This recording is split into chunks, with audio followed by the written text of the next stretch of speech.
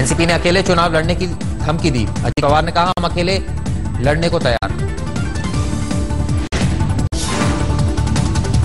अजीत पवार ने कांग्रेस से कहा 144 सीट से कम पर नहीं लड़ेंगे, समझौता होना चाहिए, सम्मानजनक।